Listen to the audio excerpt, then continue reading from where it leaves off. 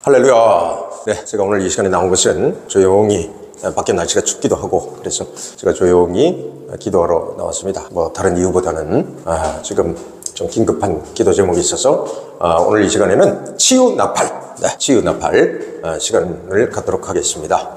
아, 한 분은 한 목사님이세요. 네, 아, 한 목사님은 결혼한 지 얼마 안 됐고 아기가 이제 한 살입니다. 아, 딸이에요. 근데 저도 한 두 번 뵌 적이 있습니다. 교회에서도 뵙고 어, 저희 집에 또 한 번 온 적도 있습니다. 아, 이분이 지금 아, 담도암에 걸렸습니다. 아, 근데 항암을 하고 있는데 국내에 지금 아, 항암 약이 맞지 않아서 아, 지금 의료 보험도 되지 않는 신약을 지금 맞고 있습니다. 아, 주사 한 방에 천만 원입니다. 아, 지금 5차까지 맞았는데 물질적인 것도 그렇고 이게 지금 신약이 맞는지 안 맞는지 아직은 모릅니다.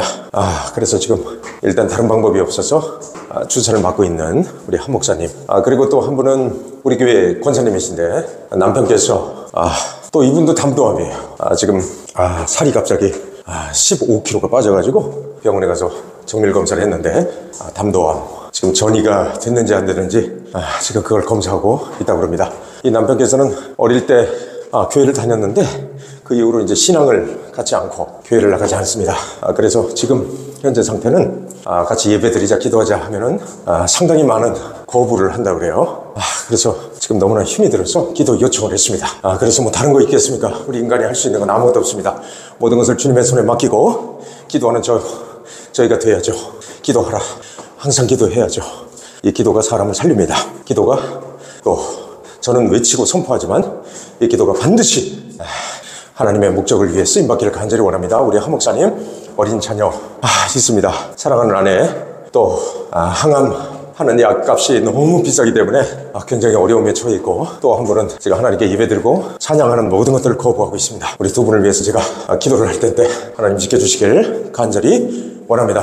눈을 감고 기도를 해야 되기 때문에 아, 제가 이 시간에 아, 손잡이를 잡고 올라가면서 기도를 하도록 하겠습니다. 하나님 아버지 감사합니다. 오늘 시간에 우리 한 목사님을 위해서 기도합니다. 하나님 도와주시옵소서. 우리 한 목사님에게 하나님의 놀라운 은혜를 베풀어 주시고 우리 한 목사님 가정에 하나님의 놀라운 은혜가 있기를 간절히 원하오니 주여 역사하여 주시옵소서. 우리는 아무런 힘이 없습니다. 그러나 우리 한 목사님에게 하나님의 놀라운 은혜 가운데 임하길 간절히 원하며 한 목사님 가정에 지켜주시길 간절히 원하며 이 약이 아버지 하나님 이 약으로 끝낼 수 있도록 인도하여 주시옵소서. 아무것도 바르지 않고 이 교회를 통해 간증자로 서게 하시고 치유의 손길을 주셔서 아픈 자에게 손을 얹은 즉 나음을 입는 놀라운 은혜를 베풀어 주시길 간절히 믿고 오나보니 우리 하 목사님에게 하나님의 놀라운 은혜를 베풀어 주시옵소서 입술을 주장하여 주시옵소서 또한 우리 권사님 남편 하나님 복음을 받아들이게 도와주시옵시고 그 아프고 힘든 과정 그 치료 과정 통 하나님의 속기를 원하오니 주여 역사하여 주시옵소서. 주 예수 그리스도 이름으로 명하노니 두 분에게 하나님의 놀라운 치유의 손길이 있을지어다 있을지어다. 오직 믿고 구합니다. 구하라 찾으라 두드리라. 반드시 열릴 것입니다. 이 기회를 통해 중보 기도를 통해 하나님 살아계심을 증거하는 우리 모두가 되게 도와 주시옵소서. 예수님 이름으로 간절히 기도드립니다. 아멘! 아멘